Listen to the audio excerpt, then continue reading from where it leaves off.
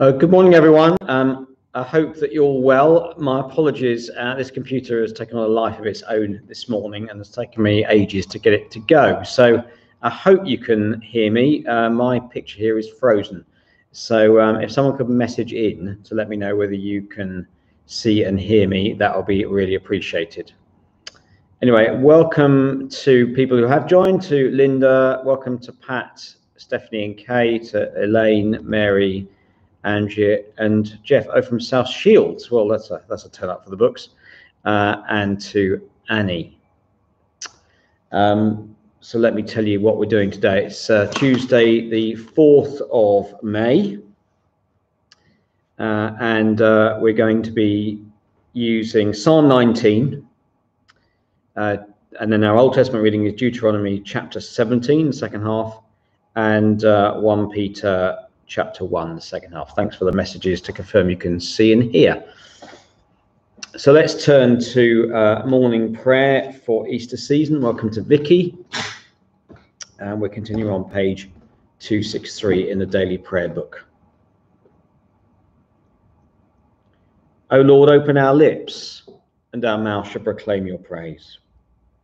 In your resurrection, O Christ, let heaven and earth rejoice. Alleluia. Blessed are you, Lord God of our salvation. To you be praise and glory forever. As once you ransomed your people from Egypt and led them to freedom in the promised land, so now you have delivered us from the dominion of darkness and brought us into the kingdom of your risen Son. May we, the first fruits of your new creation, rejoice in this new day you have made and praise you for your mighty acts. Blessed be God, Father, Son, and Holy Spirit. Blessed be God forever. The night has passed and the day lies open before us. Let us pray with one heart and mind.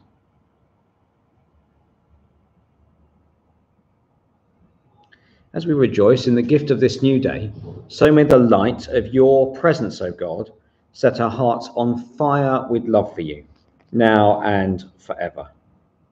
Amen.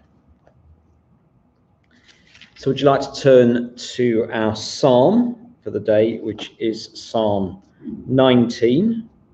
If you're in the daily prayer book, uh, it's on page 673. And uh, welcome to lots of others who've joined, to Anna Claire, Eric, and to Jess, and to John. Page 673. This is a beautiful psalm praising God's glory in creation. And I hope lots of you were able to see uh, that uh, vlog from Steve at the weekend, which was uh, a masterful uh, account of uh, why he his faith in God stems from the very beginning of the Bible. In the beginning, God created, and seeing God's beauty, God's order uh, in creation around us. The commandment of the Lord is pure and gives light to the eyes.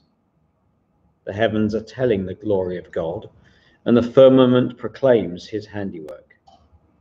One day pours out its source to another its song to another, and one night unfolds knowledge to another. They have neither speech nor language, and their voices are not heard. Yet their song has gone out into all lands, and their words to the ends of the world. In them has he set a tabernacle for the sun that comes forth as a bridegroom out of his chamber and rejoices as a champion to run his course. It goes forth from the end of the heavens and runs to the very end again, and there is nothing hidden from its heat. The Lord, the Lord, is perfect, reviving the soul. The testimony of the Lord is pure, is sure, and gives wisdom to the simple. The statutes of the Lord are right and rejoice the heart. The commandment of the Lord is pure and gives light to the eyes.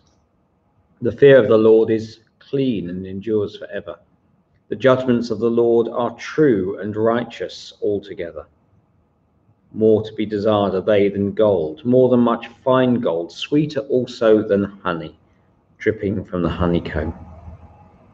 By them also is your servant taught, and in keeping them there is great reward.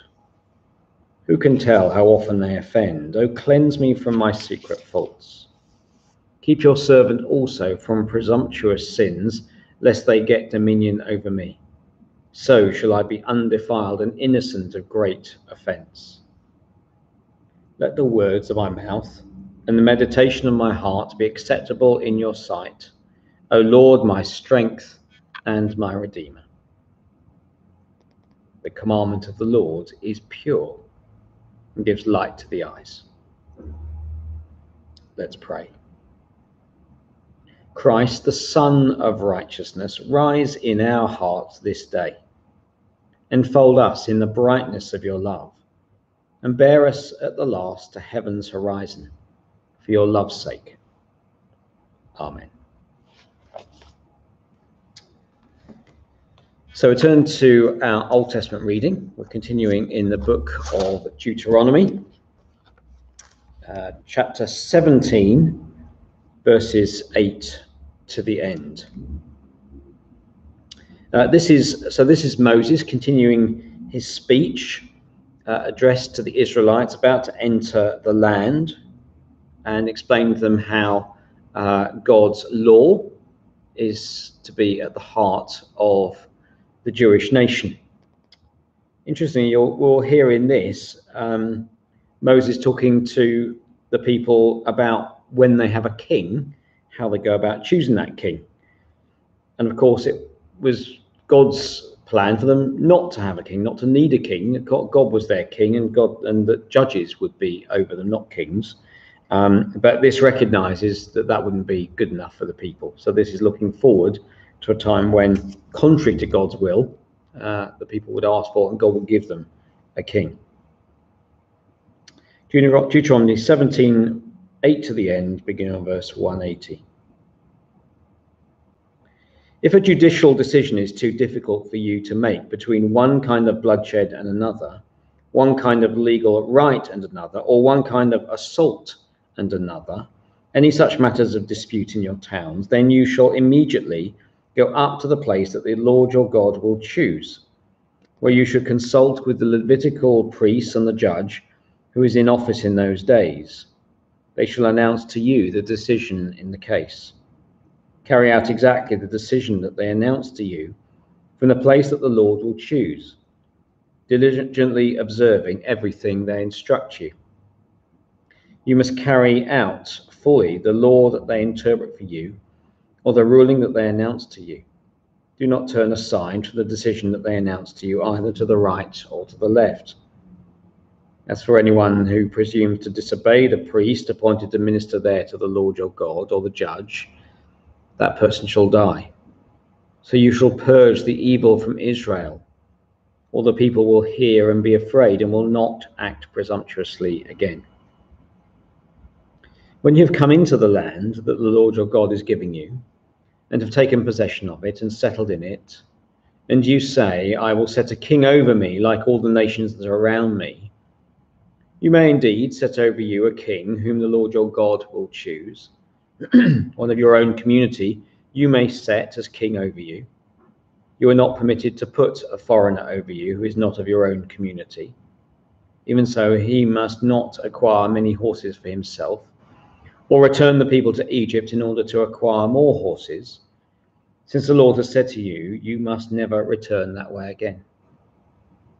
And he must not acquire many wives for himself, or else his heart will turn away also, silver and gold he must not acquire in great quantity for himself. When he has taken the throne of his kingdom, he shall have a copy of this law written for him in the presence of the, Levitical priests. It shall remain with him, and he shall read it, read in it all the days of his life, so that he may learn to fear the Lord his God, diligently observing all the words of this law and these statutes neither exalting himself above other members of the community, nor turning aside from the commandment, either to the right or to the left, so that he and his descendants may reign long over his kingdom in Israel.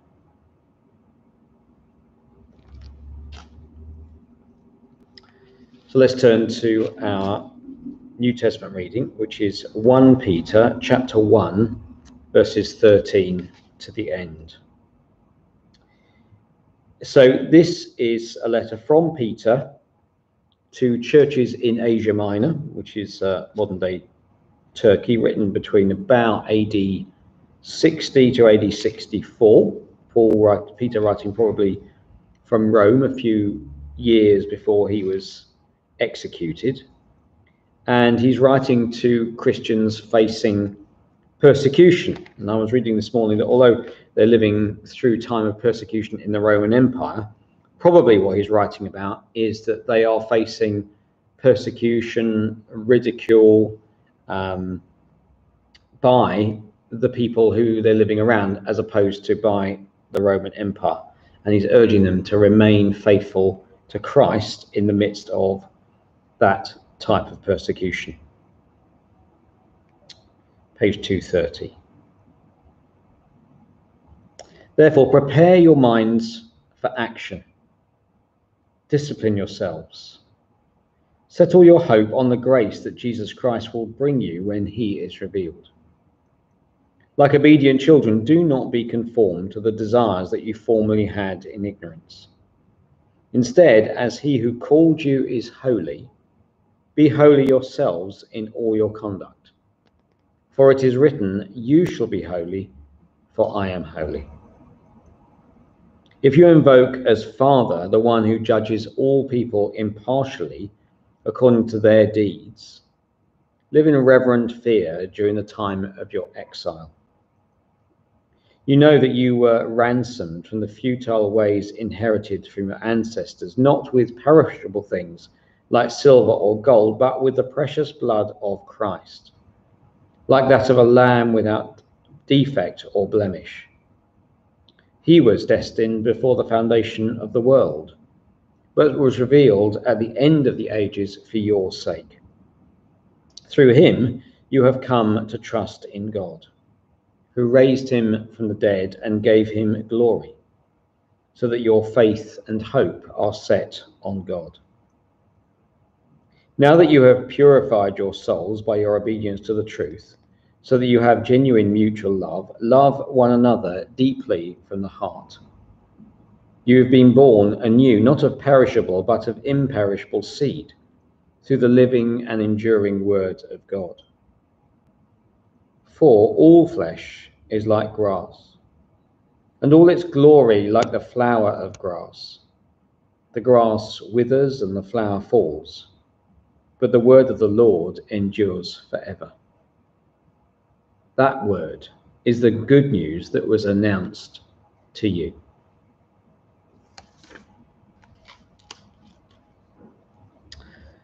Uh, welcome to David, who's joined us. Let's return to morning prayer and to the responsory on page 266.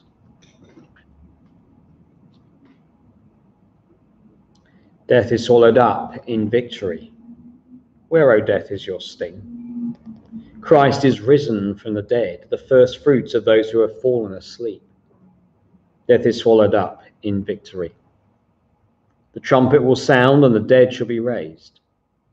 Where, O death, is your sting? We shall not all sleep, but we shall be changed. death is swallowed up in victory. Where, O death, is your sting? And we say the Benedictus together. The Lord is risen from the tomb, who for our sakes hung upon the tree. Alleluia. Blessed be the Lord, the God of Israel, who has come to his people and set them free. He has raised up for us a mighty Saviour, born of the house of his servant David. Through his holy prophets, God promised of old to save us from our enemies, from the hands of all that hate us, to show mercy to our ancestors and to remember his holy covenant. This was the oath God swore to our father Abraham to set us free from the hands of our enemies, free to worship him without fear holy and righteous in his sight all the days of our life. And you, child, shall be called the prophet of the Most High, for you will go before the Lord to prepare his way, to give his people knowledge of salvation by the forgiveness of all their sins, in the tender compassion of our God, the dawn from on high shall break upon us, to shine on those who dwell in darkness and the shadow of death, and to guide our feet into the way of peace. Glory to the Father, and to the Son, and to the Holy Spirit, as it was in the beginning, is now, and shall be forever. Amen. The Lord is risen from the tomb, who for our sakes hung upon the tree. Alleluia. Let's turn to our intercessions for the day. Uh, we need to continue to pray for the situation in India, which is uh, sort of disappeared again off the top of the headlines, isn't it? But it's as bad as ever, uh, as we hear, and still uh, quite a while off the peak. So let's pray for um, the relief of suffering for all those who are on the front line uh, in India and for a generous response for the, for the world community. And let's pray for the situation in, in Mexico City this morning, that terrible uh, train crash with a, um, um, a sort of overpass has collapsed. Uh, let's pray for the rescue operation, which is ongoing. And for individuals who we're praying for, uh, let's pray for, uh, we need to pray for uh, Joan, Linda, Linda Ryan's mum, who is uh, extremely ill and we need to pray for her and the family uh, as they cope with all of that and and care for her. We continue to pray for Jen and Jonty as as they face a, a, devastating diagnosis for her, for M and R as he uh, waits to start cancer treatment. Uh, we need to pray for.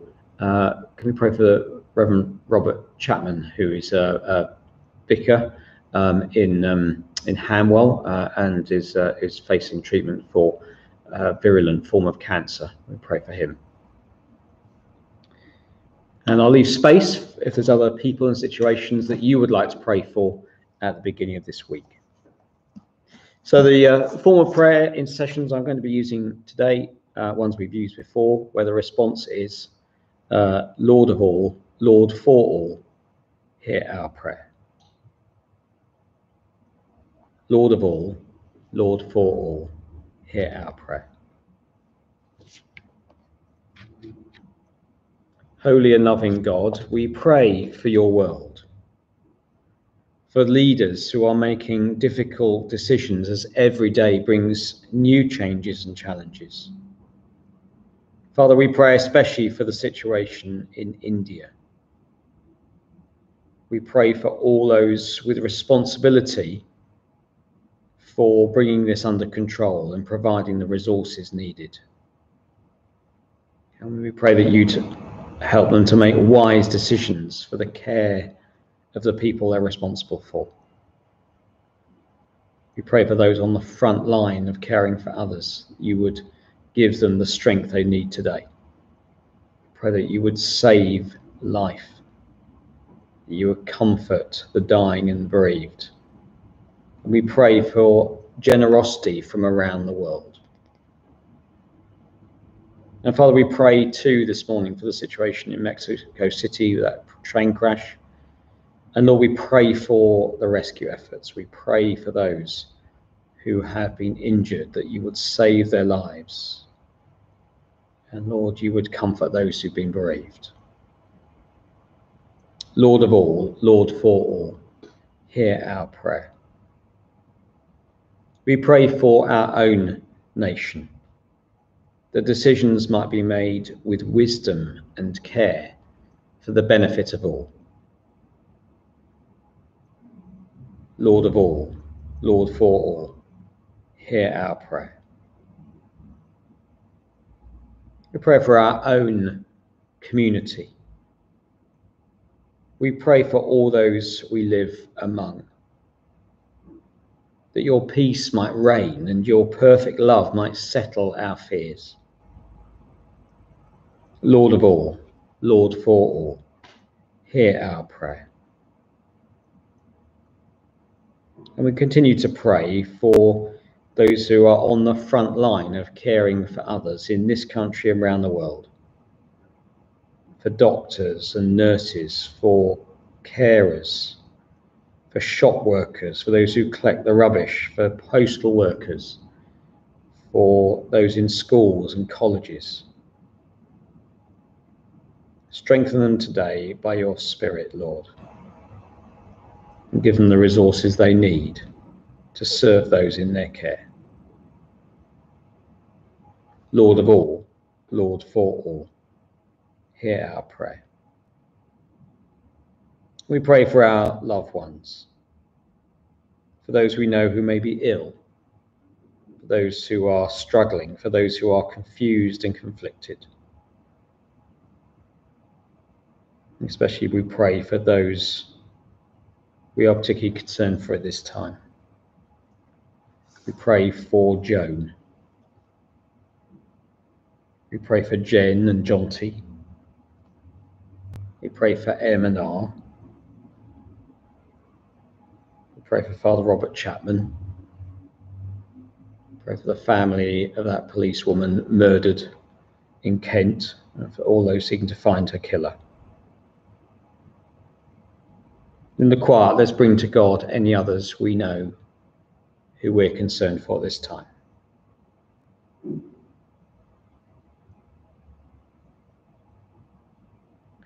Lord of all, Lord for all, hear our prayer. And finally, Lord, we pray for ourselves. You know what's on our hearts and our minds, and so we offer those things to you at the start of this day. In the quiet, bring to God what is on your heart. Seek his presence.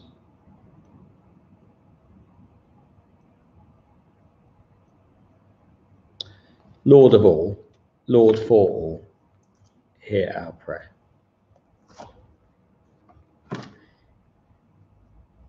the collect prayer for Easter season. God of life, who for our redemption gave your only begotten Son to the death of the cross, and by his glorious resurrection have delivered us from the power of our enemy. Grant us so to die daily to sin, that we may evermore live with him in the joy of his risen life. Through Jesus Christ our Lord. Amen. Our Father who art in heaven, hallowed be thy name. Thy kingdom come, thy will be done on earth as it is in heaven. Give us this day our daily bread, and forgive us our trespasses, as we forgive those who trespass against us. And lead us not into temptation, but deliver us from evil. For thine is the kingdom, the power, and the glory, for ever and ever. Amen. May the risen Christ grant us the joys of eternal life. Amen. Let us bless the Lord. Alleluia, alleluia. Thanks be to God. Alleluia, alleluia. Well, again, thank you so much, everyone, for being part of this this morning. I think we've got about 20 people taking part at the moment, which is uh, wonderful. Uh, and so I hope that you will have that sense of God walking alongside you, the Spirit of Jesus being within you, whatever lies ahead for you today. Uh, Vicky's going to be leading evening prayer today. Uh, so please do join her. That'll be recorded and on YouTube at five. And I'll be back hopefully uh, on time tomorrow if this computer decides to play ball. So hopefully I'll see you at nine o'clock tomorrow morning. So may God bless you and go with you through today. See you tomorrow.